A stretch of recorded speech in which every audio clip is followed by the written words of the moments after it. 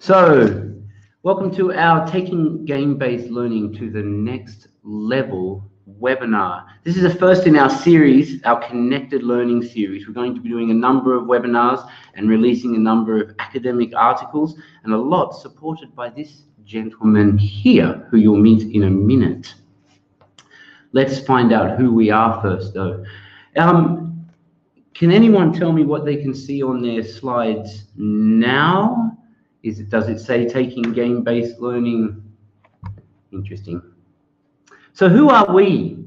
My name is Yes. Jake, and I have been Jake Whitten, and I have been working in language teaching for the last 15 years. Uh, I was I've been based in China mostly, and I have worked for some big language schools and publishers, and I now work for Studycat.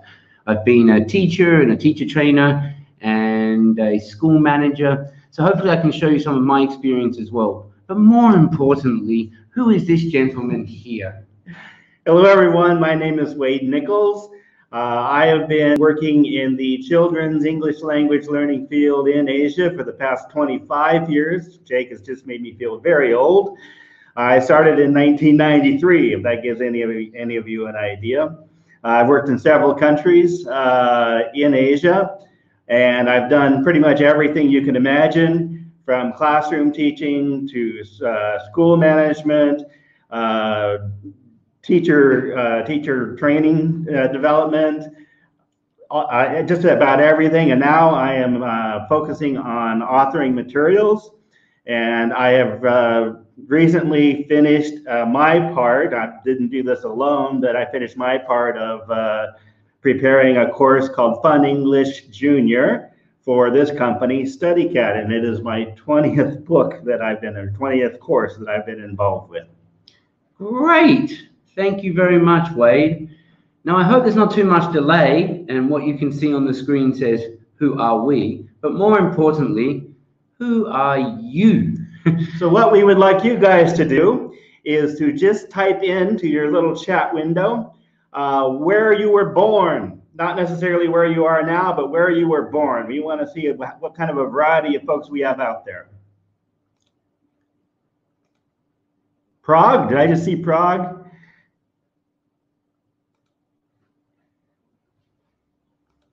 Let's have a look. Spain, UK. Chloe was born in Spain. Doesn't sound like a Spanish name, Chloe. Could be. Ivana from Serbia. Serbia, great. Ah, South Africa. nice, nice. And Do we have anybody from Asia?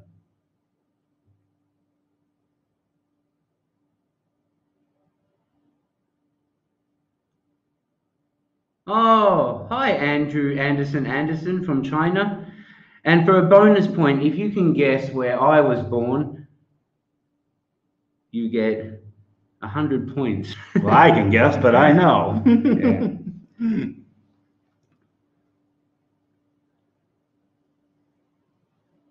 Russia.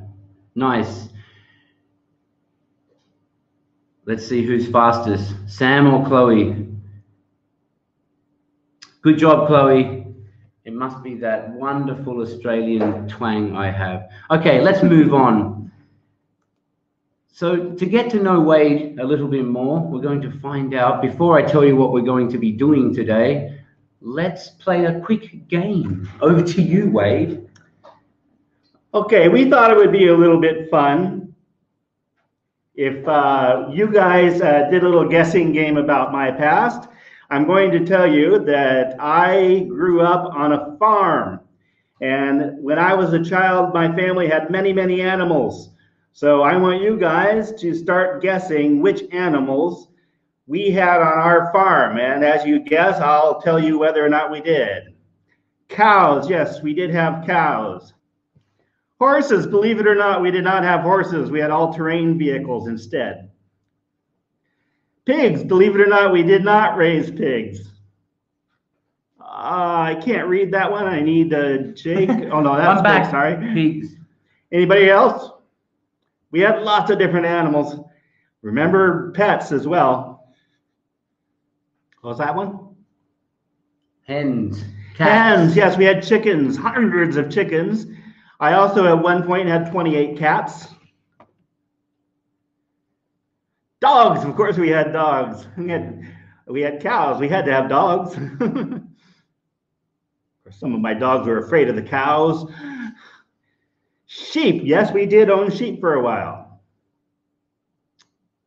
Can't read that one. Mice, yes, we had mice, thus all the cats. Geese, ducks. Geese and ducks, we had both. All right. Um, let me just mention a few that you folks didn't guess. Um, uh, turkeys. Um, we actually had a fish farm for a while. So we used to raise fish. Um, let's see, what other pets did I have? Parakeets, uh, canaries, uh, things like that. So anyway, lots of animals on the farm, hundreds at any one time. Okay, Wade, I'm going to move you over for a second. All right. Hi again, I'm back. So today, guys, what are we going to be doing? We're going to have, we're going to be doing four things today. We're going to start with the why. Why is using games in language teaching important and beneficial? We're going to have a wonderful history lesson from the Professor Wade himself and look at the past. We're going to have a look at some games that Wade's going to show from the present that we can use now. And in the second half, we're going to have a look at the future and some things we've been doing with apps in the classroom to show you how we can integrate those. And most importantly, we're going to play some games. Stick around to the end and you'll be uh, qualify for a free trial too of our awesome app. So Wade, over to you. Great. The first thing we want to talk about is why we use uh, games in the English language classroom. Uh, there are many reasons why. Uh, the, here are four that I would just like to, to highlight. Motivation uh, lowers anxiety, intensifies practice, and develops other skills. Uh, the first one is motivation. Uh, if you think about it, kids are going to are going to be a lot more motivated about playing a game than they are going to be about doing a drill. So a lot of what I do, uh, basically what I've done is I've taken those drills and I've turned them into games, and you'll see that in some of the games that I show you today. So that sort of motivation is very important for teaching young learners English. And I, one of the ways I like to emphasize this to teachers is that the most important thing you can teach your children is not something to do with English itself, but it's that Eng learning English is fun because they're going to have to be learning English for their whole lives. I'm still learning English, so it's important that they think learning English is fun and not a chore. Second one I want to talk about is how using games in the classroom lowers anxiety. Uh, for any of you out there who are big on uh, research, uh, you'll probably be familiar with the natural approach uh, that was put forward by uh, Doctors Stephen Krashen and Tracy Terrell, the late Tracy Terrell. Um, and they talked about five primary hypotheses in, in their, their approach towards language teaching. The one I want to mention today is their affective filter hypothesis. So let me just explain that briefly. The idea is that children who are nervous or shy uh, may have a, a, what we call, they called an affective filter, a screen in front of them that kind of prevents them from learning language well. So it's important to do things in the classroom that lowers that affective filter to help kids not be shy, not be nervous, um, not be uh, self-conscious in the classroom. And games are excellent at doing that. The next one I want to talk about is uh, how games can be used to intensify practice. And I know that probably a lot of people out there, if they uh, thought we're thinking about coming in here, we're thinking, well, I've seen games in the classroom and it's just a bunch of kids sitting around wasting time doing a game. They're not really practicing a lot of language. But you'll see in the games that I show you today, there is a lot of language practice. In fact, uh, I make it a point in every one of my classes for each child to speak more English than I do as the teacher.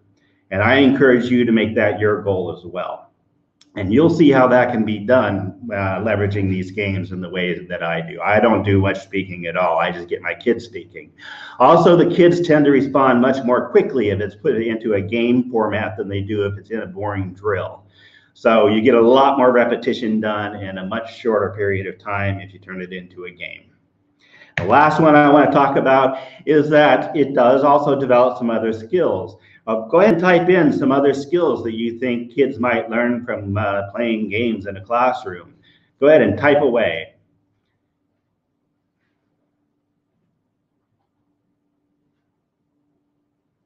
Social skills, excellent, yes. Very important for young children. Sorry, I have to get close to this with my eyes so I can read it. Um, social skills, what, teamwork, excellent, very good. Teamwork is an important one. Critical thinking, fantastic. Collaboration, definitely we get collaboration. Anybody else? Wow. What's that? Gross skills. Uh, motor skills. Are you talking about gross motor skills? Mm. Yes, true. Uh, even some fine motor skills in with some games. Anything else? Okay, well, that's a pretty good list. Uh, let me just mention a few that I'm thinking of. Um, I think turn taking is a valuable thing for kids to learn how to do. Um, we, we have mentioned collaboration and teamwork. Uh, when I do the team games, that comes into play. Uh, also, logic is one that uh, nobody mentioned. Uh, we got close, but nobody actually mentioned logic. But some of the games require a degree of logic.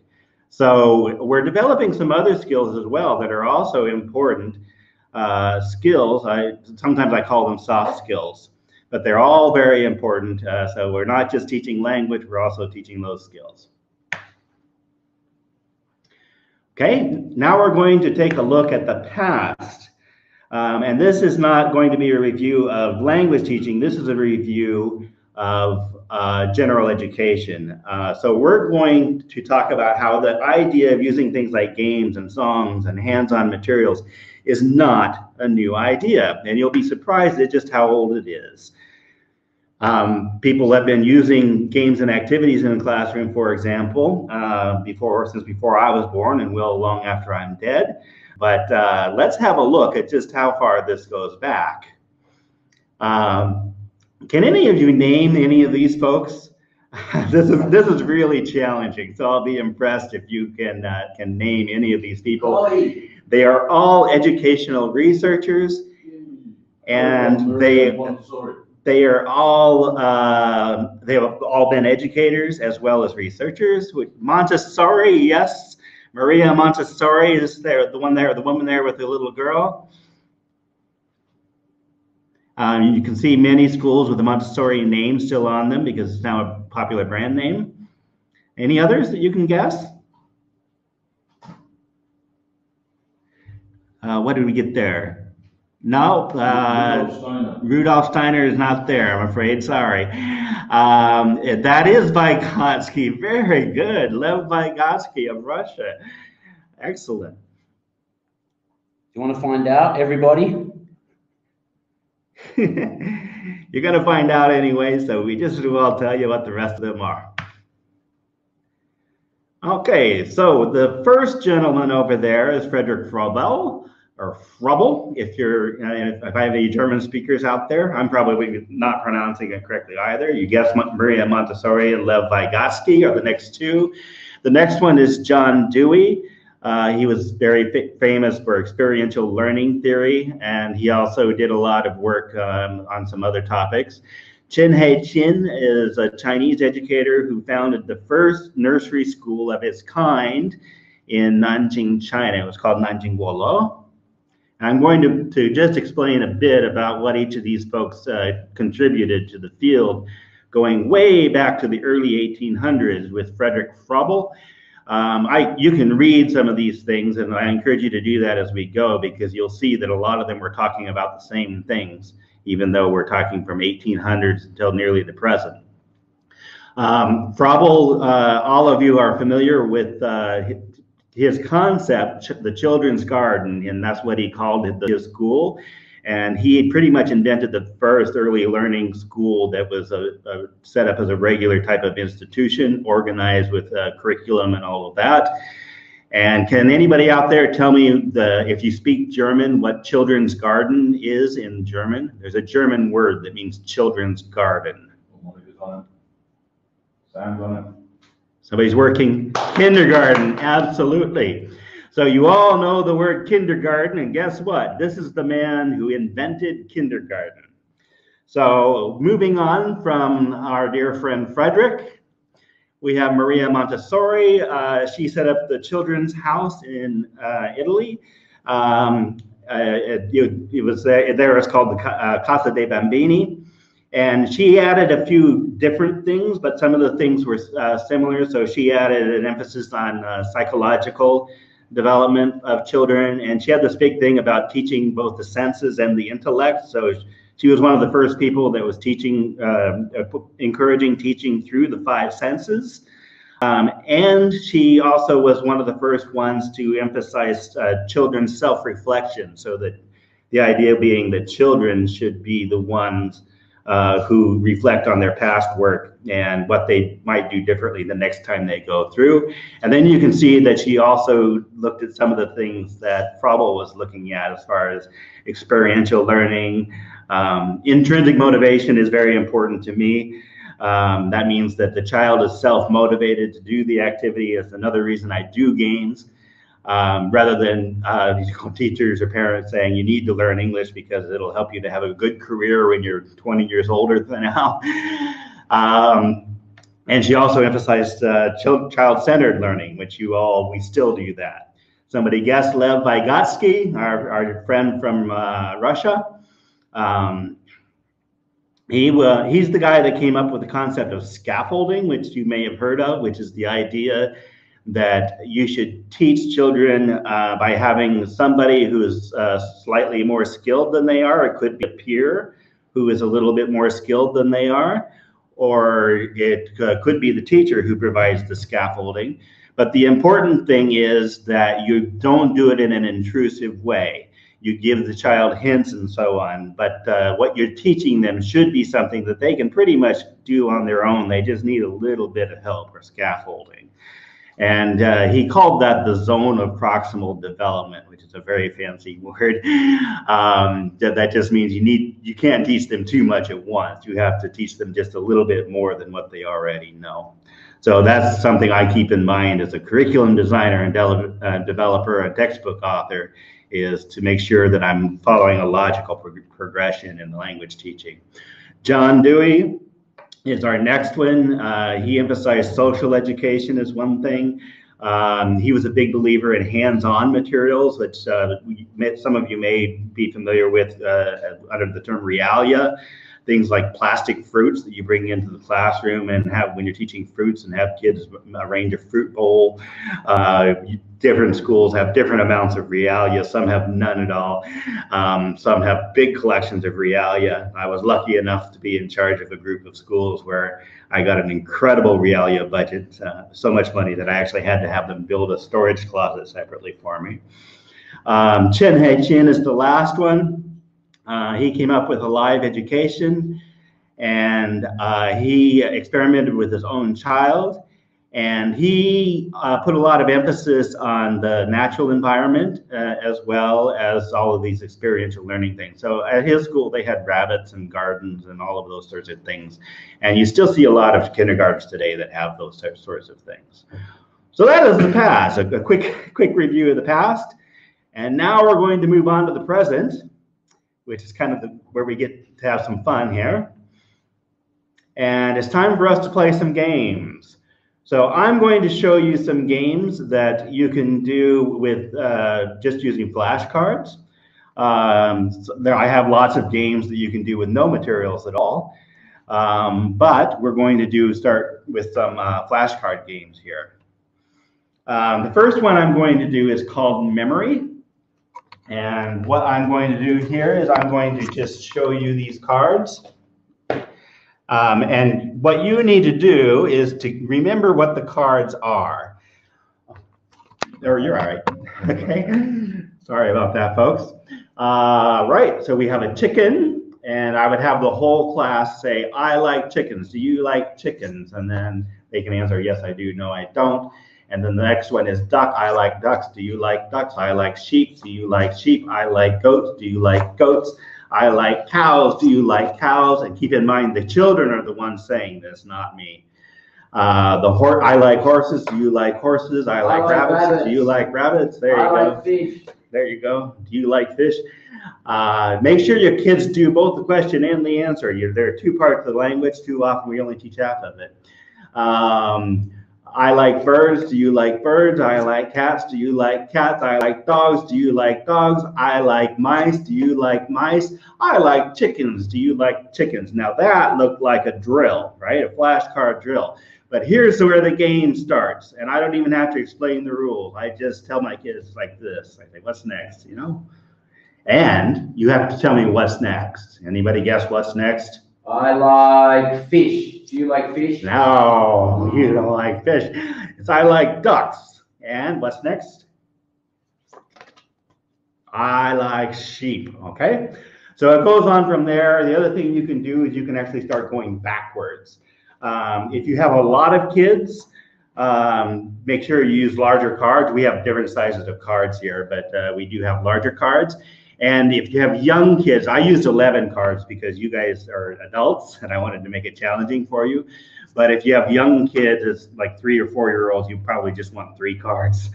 Um, but uh, you'll be surprised when kids get up to fifth or sixth grade, they can probably handle 11 different words and they you'll be surprised how well they remember them. So that is a very simple game. Thank you. So uh, what did we learn in that game? Obviously, I was teaching animals, vocabulary, and sentences, but you can use it to teach any vocabulary set you want. It could be colors with sentences, anything you want. Um, there was there was memory involved, and there was also collaboration involved because the students start to work together to remember because it's a whole group activity to try to remember what the next item is. All right, moving on to the next game. Uh, we're going to play a game called uh, What's Missing?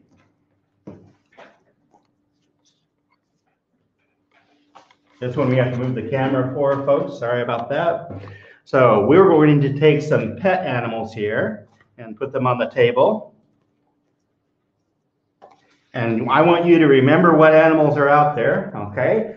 So of course I have all of my kids say, I like mice, I like dogs, I like cats. dogs. And then we're going to have the kids turn their heads and we're going to turn the camera away. And I'm going to take away one of the cards and then look back around. What do you like? Ah, the camera's got to focus. And the answer was I like dogs.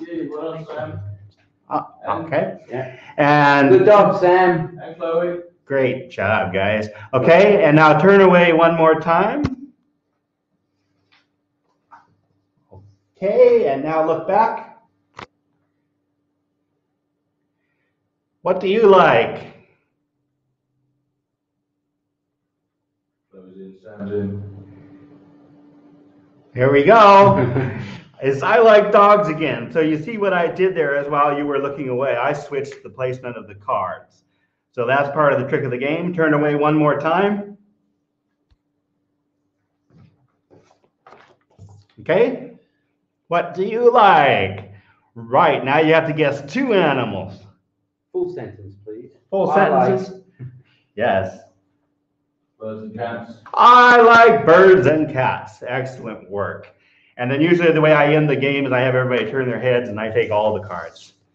And then when they turn back around, um, I use magnets usually to put these up on a magnetic whiteboard or something so that it, with a large class, everybody can see them.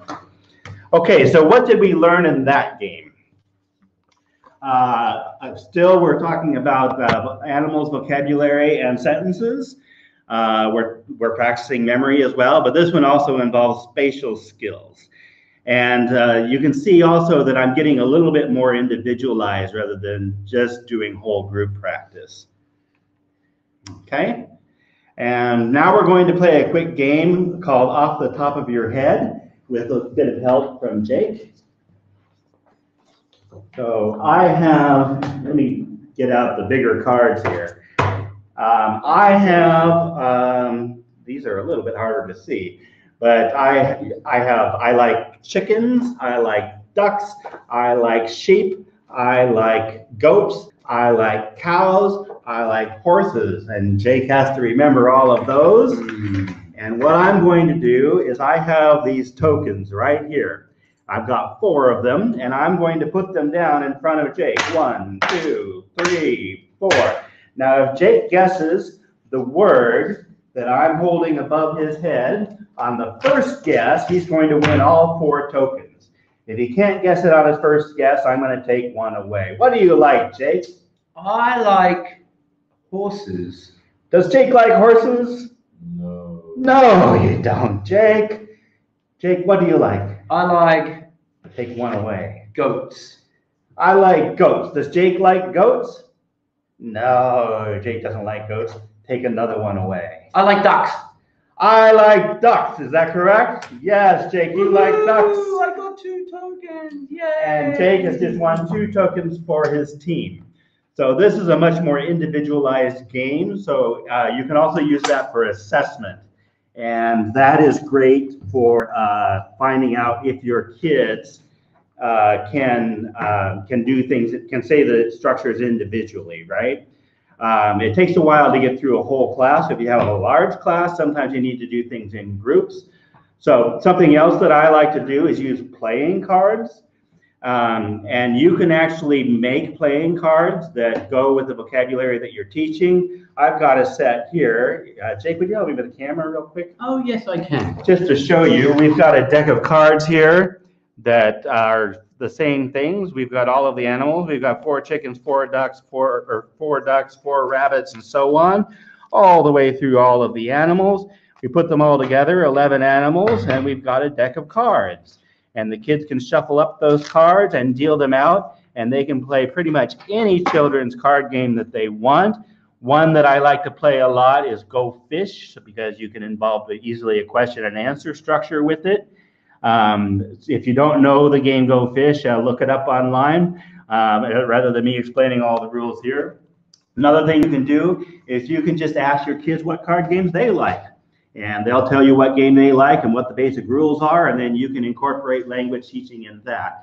Now, something else you can do is uh, you can just take a regular deck of playing cards and uh, you can uh, take those labeling uh, stickers, like uh, they peel off stickers, and put stickers over the, the regular playing cards, and give each set, uh, each kid a set of 12 cards, uh, ace through king, and have them write 12 vocabulary words on the stickers. So then they are practicing with uh, writing, reading, and with listening and speaking. And of course, we also have pre-printed cards. I don't know if you can see those well. But we have pre-printed cards that have the word side as well. Don't forget that your flashcards have two sides, and that's for a reason.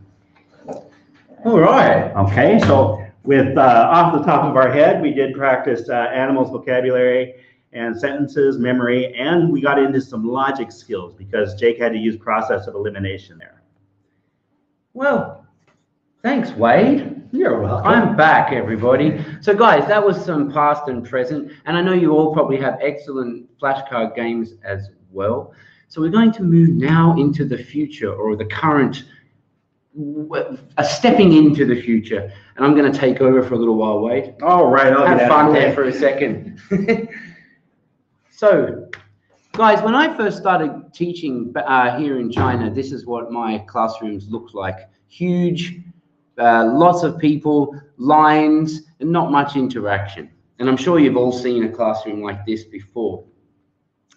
I think classrooms are starting to change now. They're starting to look a bit more like this, where we're encouraging collaboration and working together and making kids learn together. So, thinking about that and thinking about all the things that Wade was talking about, the lowering anxiety and all these things, let's have another thing, have a look at what else is coming into the classroom. And this is this is what is making headroom into classrooms and will continue in the future. I'm going to talk about the some of the issues of screen time as well. So if anyone has issues with iPads in the classroom or tablets in the classroom, we can raise those. But right now, does anyone use tablets in the classroom at all? If you do, can you type yes or no? Thanks, Chloe and Monica. Oh, no. Well, maybe after today, we, we can show you some things that you can do with tablets in the classroom and see if you think it's an advantage to it. So this is one of my classes, and this is just showing you that just having the tablet there can allow the kids to collaborate. So I can send out language to them earlier, and they can have a look at a game or something. They can work together, they can collaborate, uh, very low anxiety, no affective filter, and they can then come back to the front as a whole class group. Here they, here's some of my kids here just with a song, so they're getting exposed to new language in this song. They have to see the words, so they're, they're listening, they're reading, they're working together. And here's a nice one too, where they have to record each other's voices and then try and find each other. Uh, sorry, record each other's voices for the vocabulary and then tap when they hear the other person's voice. So it's a nice way to enable them. But rather than looking at pictures, oh, and there's one more to show you. Before we look at the app, a lot of people will say, oh, but what about screen time? Yes, great, Sam. Interactive whiteboard. So everything I'm going to show you is also available on the interactive whiteboard. A lot of people talk about screen time being an issue, and I don't see it as an issue. I just think you need to make valuable screen time. You need to think about how long. So if, if I have a 60 minute class, I might integrate the iPad in for maximum 10 minutes of the whole class. If we're encouraging kids to use the iPad at home for homework, we would say a maximum of 10 to 15 minutes. Here's another example of how you can think about screen time is here is a very young kid, two and a half, and he was he's learning by uh, colors by a very simple game, just has to touch the iPad and it says the color. So it says yellow, he touches it and it pops. So he's getting the exposure to the language there. Now, if you're worried about the screen time, here's a little example of what we did. I did recently with some kids was the child had to then draw uh, draw a picture, but he had to ask for the color pencil that was in the bubble that he popped just then in the game. So it was using the language straight away. And then on the picture, which I'll show you, here they had to draw little bubbles and then they were taking the game out of the iPad, which means that they were reducing the screen time but still using the iPad. But better than me speaking, let's have a look and let's think about this idea of making screen time valuable. Dun, dun, dun. Oh, I want to play a quick game with you first. Sorry. So let's have a look in this room. This is a bedroom. Now, have a think. It's all black and white now. I want you to think which item is pink? Which item is pink? You can type it in. Oh, not the clock, but yes, the flower. Good job. Okay, which item is yellow?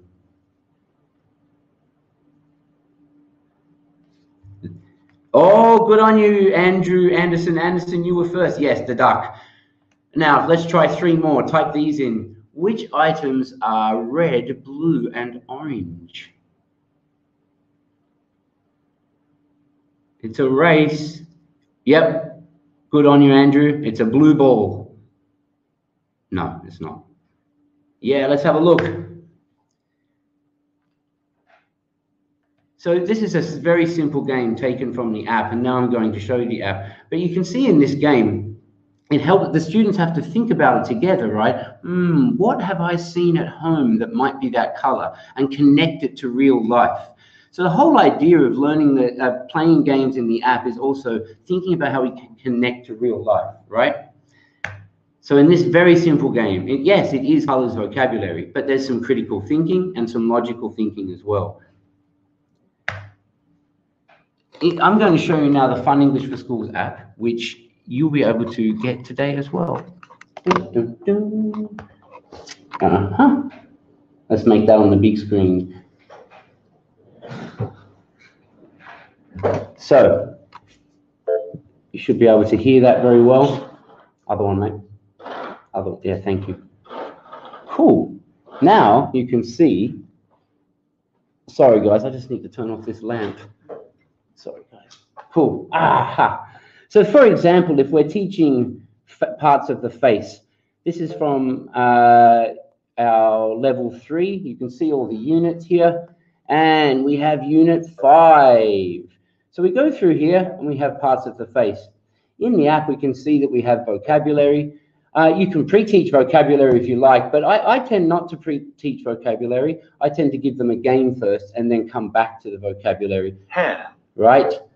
And then there are some other games that you can use to keep on exposing them to the language. So a simple matching game. Ear, Eye. Hmm. mouth, Head. ear, Ear. eye, Eye. mouth, Head. head, Head. mouth. Mouth.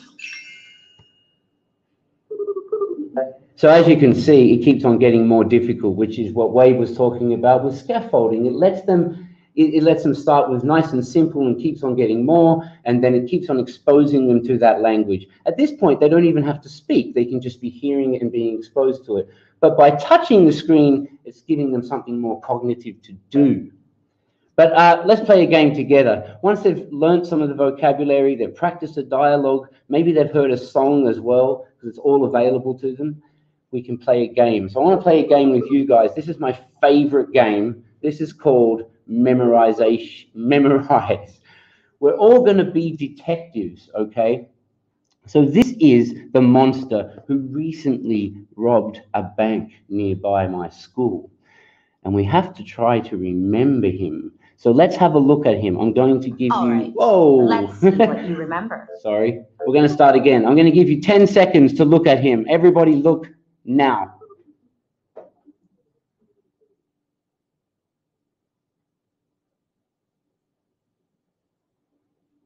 Five, four, three, two, one. All right. Let's see what you remember. What color is it? Hmm, who can remember what color he was? Type in the color now. Uh-huh. Was he pink? Let's have a look. Great. What about its head? So let's do it like this. This is number one, two, three, four, five, six. Which head was it? Ooh, two or five. I'm going to go with ID, I, I, I, uh, Idola. Oh no, it's going for five. We're going for five. One, two, three, four, five. Okay. What hair does it have? One, two, three, four, five. Okay, we're doing pretty well. How about its ears? Ears. All right, I'm going with Sam this time. One, two, three, four, five. Yes. What about its nose? What about its nose? Oh, we're all we're all Andrew. Okay, I'm confident with you guys. One, two, three, four. Which Oh. eyes does it have?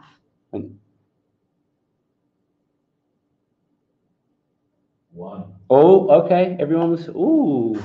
What does its mouth look like? Hmm. What does its mouth look like? Four, three, three. I'm going with Chloe. Let's see how good we did. Okay, let's take a look.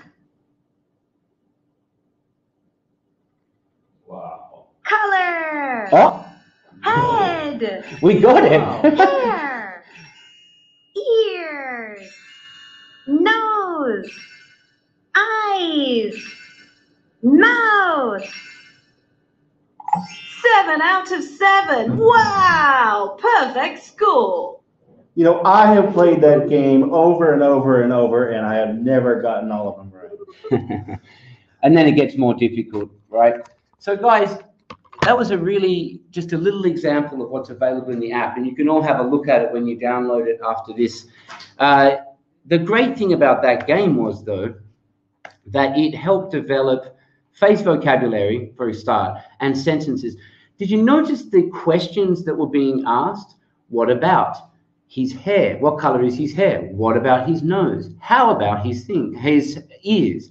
So just by putting in the what about and how about, they're also exposed to some sentence structures there that they might only need to know receptively. They don't need to necessarily say them, but it's a nice exposure of language in context of the game.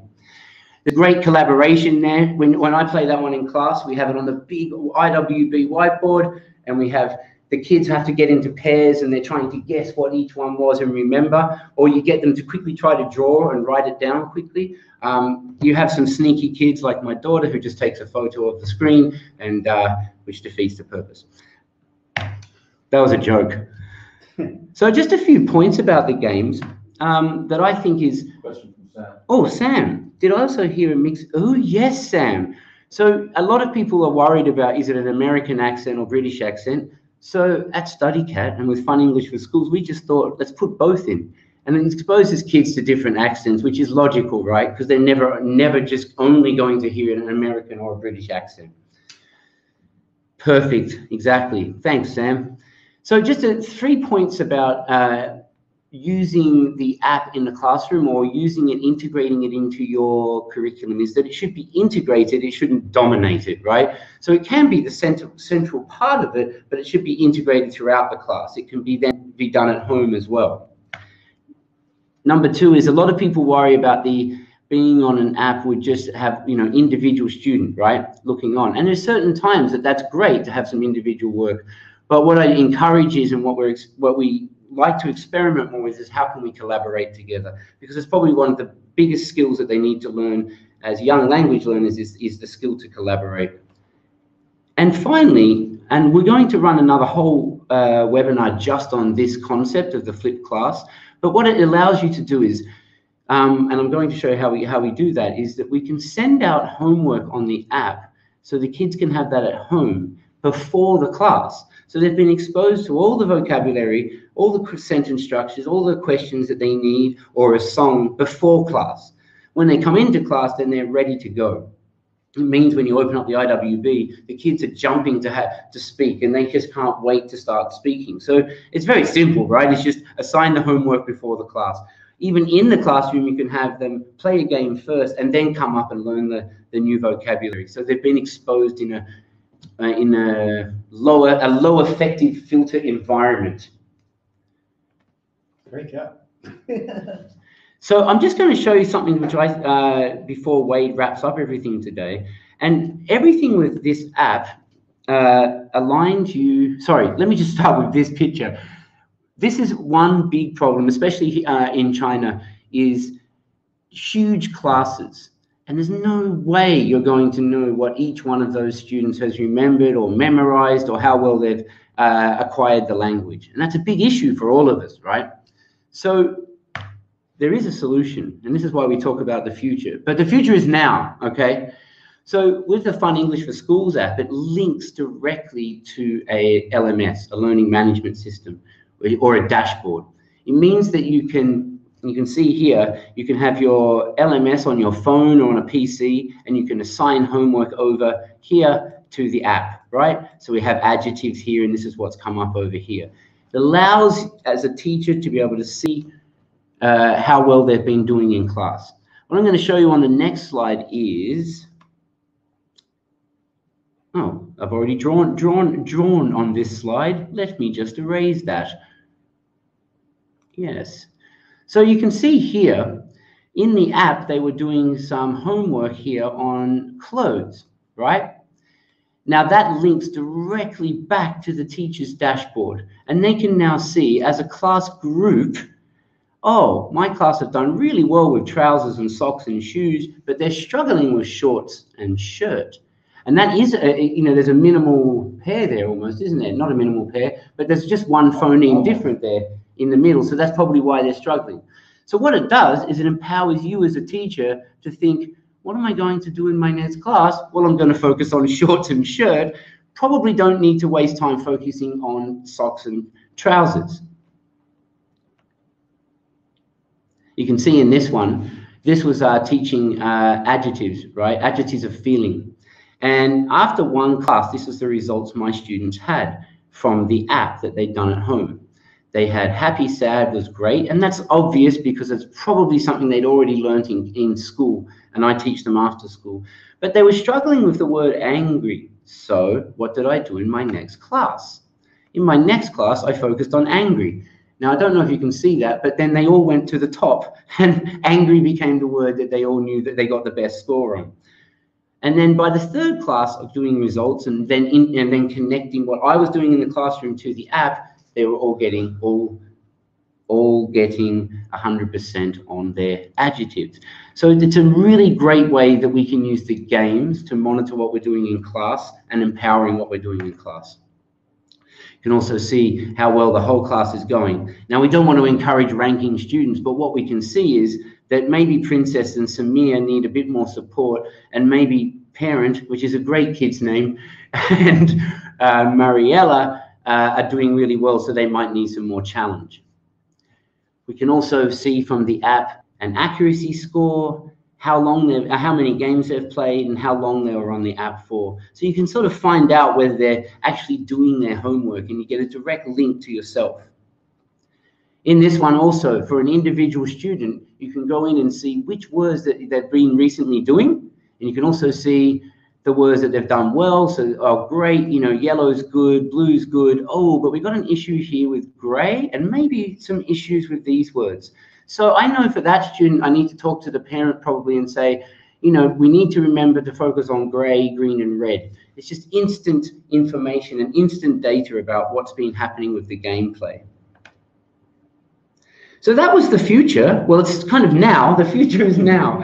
And um, yeah, I just wanted to show you guys that nice link between the game and the uh, dashboard and how it can empower you as teachers. We're going to wrap up with Wade's quick 10 tips for creating games, and we're going to send these out to you as well. And then if you stay till the end, a little uh, offer for you. Hi, Wade. Yeah, hello, everybody. Um, so I just want, I'm going to go through these quickly because I know we're time limited here. Um, first thing I need you to do is make sure that you're you're designing your games towards your learning targets. Don't just play games for the game's sake. Make sure that you're following your syllabus as uh, as you're supposed to be doing. A game should have clear rules and objectives. They should be very simple. Uh, you can just model the rules or even just start playing the game and kids will figure out how the game plays. You don't have to spend a lot of time standing in front of the class explaining the rules in complicated English. Uh, ensure that your games are age and level appropriate. Um, you don't want to do games that are too difficult for young students, for example, or too difficult for kids who are true beginners. Uh, use adaptable games. So you heard me earlier, I kept saying you can use these games for more than just animals. You can use it for colors. You can use it for you know, vehicles. You can use it for clothing. So I like to use adaptable games because then kids know the rules of the game already. And the next time you start playing the game, they realize which game they're playing. And you don't have to keep coming up with brand new games for every single lesson. Think about safety. Um, I do some games that require kids to run in the classroom um, if I have a small enough class. Uh, but I would only do that if I have thought about safety and make sure I can safely get all the furniture and things out of the way, make sure kids aren't going to trip over each other, maybe not have too many of them running at one time. Um, that safety is a big issue with it when it comes to children. Uh, a game should have an adequate level of fun. Uh, it's important for that motivation factor that kids have fun and you get, you'll get a sense very quickly whether or not your kids are having fun. My best advice is find games that the kids like to do in their spare time. Sometimes I've even caught them playing a game during their break time, and I, I steal their game and figure out how to use it to teach language. A note on competition. Um, young kids sometimes don't respond so well to competition in the classroom, and most games do involve competition. So what I recommend to you is uh, there are some games where it's a whole class collaborative effort, as I showed you earlier. So that reduces competition. Another thing I encourage you to do is to make sure there's an element of chance in a lot of your games. It's not all skill based. So some of it's just pure luck, like the the one where Jason had the cards on his head. It's pure luck. That he can guess them. Although he could see it on the camera, so he wasn't really guessing. Uh, encourage interaction, but avoid chaos. You want kids to interact. Uh, I my classrooms are noisy uh, when I'm doing, uh, especially speaking activities, and I, if, if I have a lot of kids. One time I was questioned by a principal when I stepped out of the classroom, and he said, "Wade, your your children were shouting in class." And I said, "Yeah, but they were shouting in English," and he never questioned me again. Um, but you do want to avoid chaos, and you have a sense of, as teachers, what how good your classroom management skills are, for one thing. Also, keep in mind how many kids you've got, and you know whether or not you can get away with doing small groups and so on. And the last one is make sure you practice four skills. Don't only do listening and speaking. Remember your flashcards and so on have two sides. Make sure that your students are practicing both the questions and the answer structures. Okay, a final word. Well, You want me to give the final word? Oh, oh, okay. I'm So tired. guys, I'm not I gonna- think what was um what we were trying to show today is that the idea of play and game has been in and gaming has been in learning for hundreds of years. And I think that some people sometimes think, oh, it's just an excuse to fill up time and things. But there is a lot of academic from uh, a lot of academic credibility to in, in integrating games into your classrooms, from all the way back from Froebel, um, you know, through to Krashen's theories, and now for, for what's being integrated with apps in the classroom. Don't be afraid of putting the games in your classroom. Just make sure that they have purpose when they're in your classroom. Right? Yep, that's pretty much how I was summing up. So uh, what I'm going to do now, guys, is I'm going to email you all today, um, you, you, you people that attended, and if you fill in a very short survey and leave your email, um, we can even contact you if you want to leave a phone number. Um, we'll send you a one month free trial for the Fun English for Schools app. You can use it on your tablet or on your IWB in the classroom. Um, just to see what you think. And then we would like to share some ideas with you too to see how well you're integrating it, how, what type of things you're doing with it in the classroom. If that sounds good, please fill in the survey and check. It's the email that you signed up for this webinar with. And also, all the flashcards today will send out in a PDF flashcard pack. Right, so you Okay. can, you can take them to a local printer and have them printed on cardstock in whatever size you want. So you can make playing cards, you can make larger flashcards, whichever you like. Okay, um, when you get the app, just remember it's very easy to navigate. I'm just going to show you quickly before we. Mhm. It's very easy to navigate. It's very easy to. Sorry about that, guys. Basically, you'll open it up and you'll be able to see that there are levels here, and you'll open up a level. And once you go inside, you'll see all the units in here, and you can have them up on the screen. So um, it works really well in the classroom. You can either have it in topics mode or as a linear chapter mode. I tend to use it in topics mode.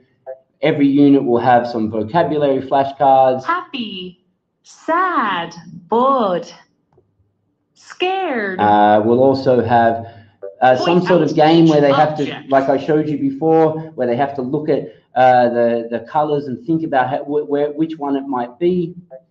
They always have a and every and then a matching game. They always have a nice little dialogue in here as well, and also a song.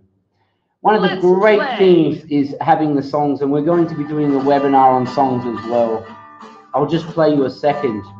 You look sad. Are you sad? Yes, I am. I am sad. My apple is bad. Oh. You look angry. Are you angry? Yes, I. So, and as you just see that the language is just then presented, and then every unit has a nice little quiz at the end, and that's so you can get your kids check if your kids have learnt the language. Oh, it's bo- no. Scared. Oh, scared. Bored. Okay, cool. I think we just had some questions. Oh yeah, great. Here we go. No. No? Okay. Sorry. Okay, guys. Uh, yeah, once you, unfortunately need to log in online, but then it can be offline the whole time. So yeah, thanks, Chloe. And then once you've logged in, you can just you can use it offline. If you have any other questions, Otherwise, I will, yeah, I'll send that out to you. Um, expect an email from me directly. Uh, once you filled in the survey, then you can you can actually choose if you want to be contacted on email. If you'd like to set up a call with us, it's fine because if you want to use it in the school, we're very happy for that as well. So you can at the moment you can we can you can use it the operation language in uh, Chinese. Oh, sorry. Do you mean the operation language or do you mean To teach any everyone. other languages? One Chinese, one French. So we That's on you, mate. Yeah, any other languages? Yes, we also so we have the Fun English for Schools program, which is completely developed for the schools. But we have a smaller programs. We have Fun Spanish, yeah. Uh, we have Fun Spanish, Fun Chinese, Fun German, and Fun French. We have lots of fun. So what I'll do is uh, in the survey that, that you'll, you'll be able to see that. And you can, if you have any, if you would like to talk about those as well, you can send us a question.